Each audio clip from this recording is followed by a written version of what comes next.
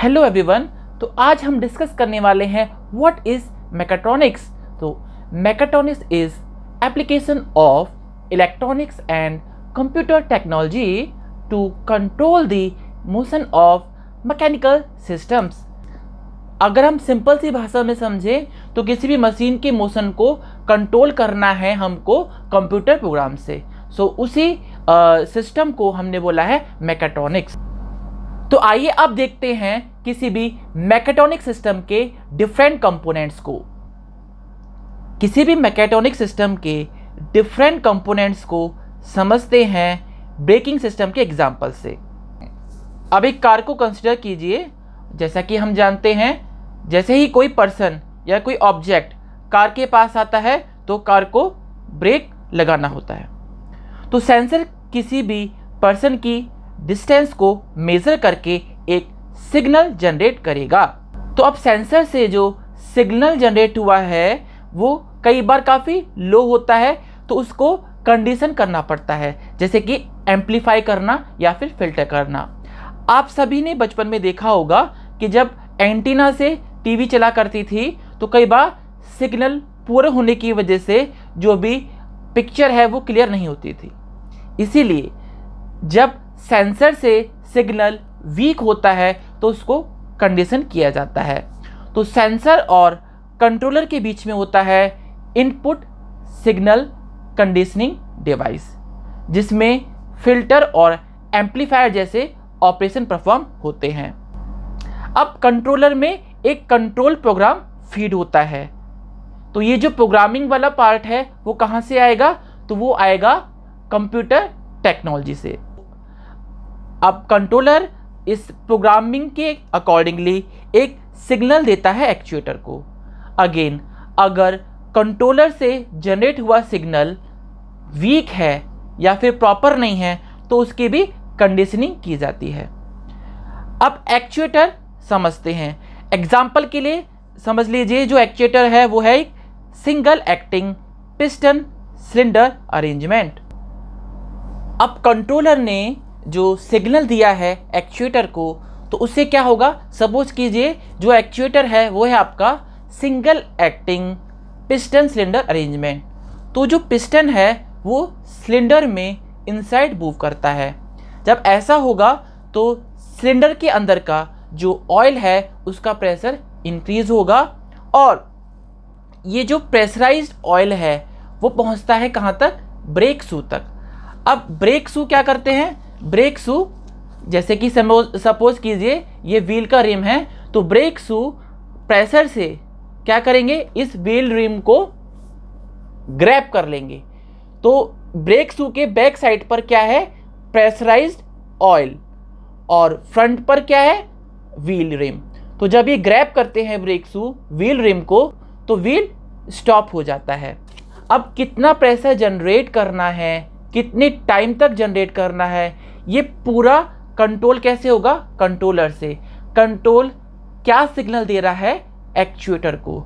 उसके accordingly actuator का movement decide होगा।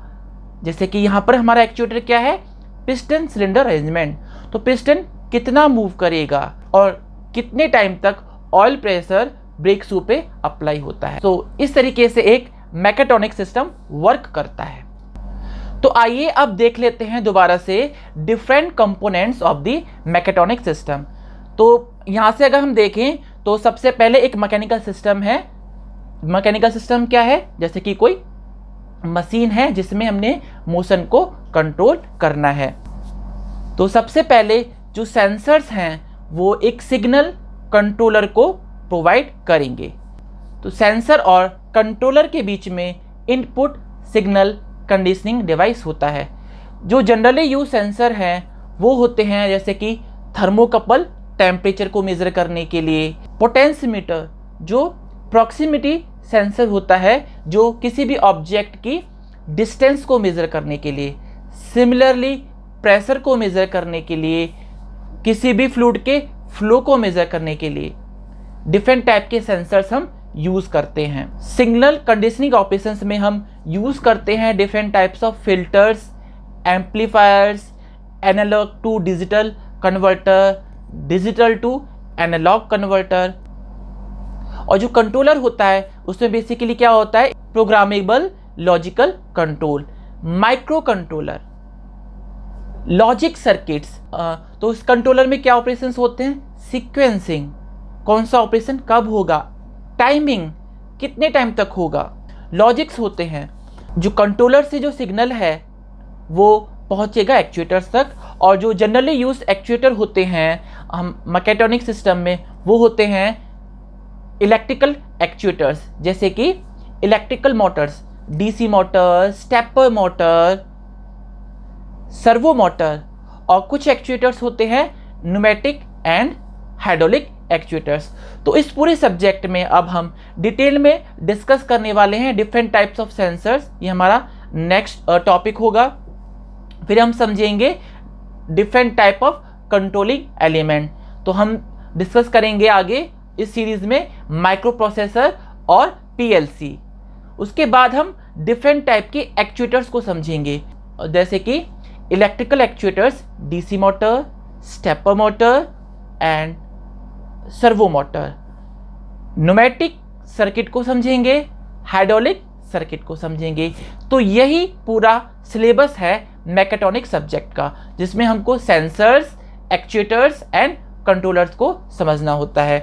एक और एलिमेंट है जिसको बोलते हैं input output devices output devices होते हैं LED, LCD, speaker and screen तो कई बार हम इनपुट डिवाइसेस के थ्रू कंट्रोलर को कुछ इंस्ट्रक्शंस देते हैं, जैसे कि keyboard switch microphone touch pad knobs तो मैकेट्रॉनिक्स है क्या?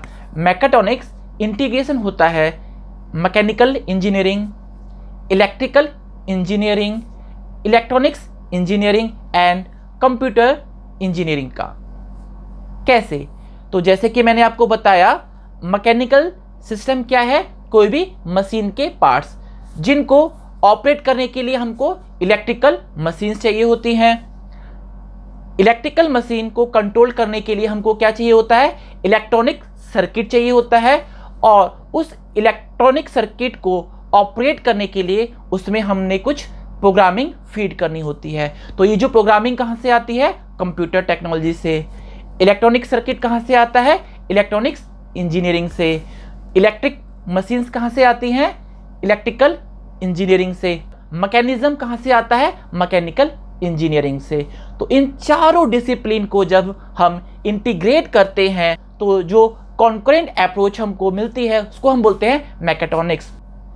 अगर मैं आपसे पूछूँ कि आपके घर में ऐसी कौन सी इक्विपमेंट है जिनको आप मैकेट्रॉनिक सिस्टम कह सकते हैं? तो बताइए, क्या होगा आपका answer?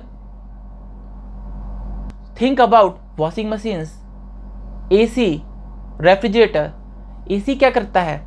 सेंसर क्या करेगा? रूम के टेम्परेचर को सेंस करता है और उस सिग्नल को कहाँ देता है? कंट्रोलर में। कंट्रोलर अकॉर्डिंगली क्या करेगा? कंप्रेसर जो उसमें एक्चुएटर है, उसको क्या करेगा? सिग्नल देगा कि कितना पावर जनरेट करना है। और अकॉर्डिंगली आपकी जो एयर है, वो कंडीशन होती है, जो आपका एयर कंडीशनिंग सिस्टम है, उसको कंट्रोल करते हैं। सिमिलरली वॉशिंग मशीन में भी कितनी क्लोज हैं, कितना वाटर चाहिए कितना डिटर्जेंट चाहिए, सारे जो डिसीजंस हैं, वो ऑटोमेटिकली होते हैं। तो ये कुछ एग्ज़ाम्पल हैं हाउस होल्ड में मैकेट्रॉनिक सिस्टम के। तो अब देख लेते हैं इंडस्ट्रियल एप्लीकेशंस क्या हैं मैकेट्रॉनिक्स की। तो जैसा कि अभी हमने डिस्कस किया एग्ज़ाम्पल के through development of unmanned vehicles इसके अलावा operations and maintenance of CNC machine जैसा कि हम सब जानते हैं सीएनसी मशीन क्या होती है? Automatically control machines robotics is the application of mechatronic system. Transport and vehicular system. Structural dynamic system. Medical system medical field में भी हम मैकेट्रॉनिक्स या फिर ऑटोमेटेड मशीनरी का यूज़ करते हैं। Diagnostic and reliable techniques computer integrated manufacturing तो आज का लेक्चर हम यही समाप्त करते हैं। तो नेक्स्ट लेक्चर में हम डिस्कस करेंगे डिफरेंट टाइप ऑफ़ सेंसर्स